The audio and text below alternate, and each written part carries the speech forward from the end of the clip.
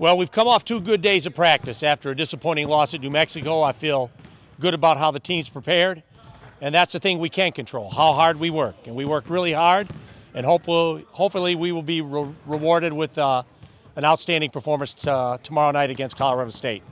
Uh, we all know Larry Eustachy's teams are very physical, they rebound, they defend hard, and it'll be a real challenge. But uh, if preparation has anything to do with it, we are prepared and ready to go. We're still a collective group, still together. Um, just trying to stick with it.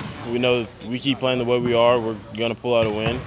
Uh, we just haven't been being able to finish games, so you know, just getting closer, closer and closer. Just we feel it, and uh, we're pretty confident that, that we're going to start winning and get, hopefully get a wing streak going. They, they play tough. They're a tough team. Uh, we know what they're about. So um, I, I, feel like we're going to be ready for them. We'll be ready for the toughness, and we're going to bring it right back, and we're going to throw the first punch. You know, last time we played them, they would at their place when we beat them there, we made an incredible amount of threes. Jeremy Hemsley made three, Devin Watson made two, Trey Kell made one.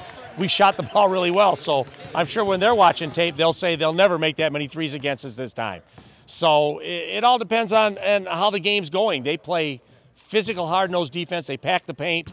They rebound the ball at a high level. They're obviously down a very important player in Prentiss Nixon. He sprained his ankle, their leading scorer, so he missed their last game against UNLV. By all uh, I can gather, he won't be playing against us. But we've had some issues ourselves. You know, Trey Kell's coming off. Uh, uh, we thought was a cold against New Mexico. He missed two practices leading into New Mexico, and then came out and played. And then we got back, and he felt worse on Monday. And it turned out he has uh, bronchial pneumonia so he hasn't practiced for two days. Uh, he's on antibiotics, and hopefully on Wednesday uh, he'll feel better enough for the doctors to clear him. But that will be a game time decision on Trey.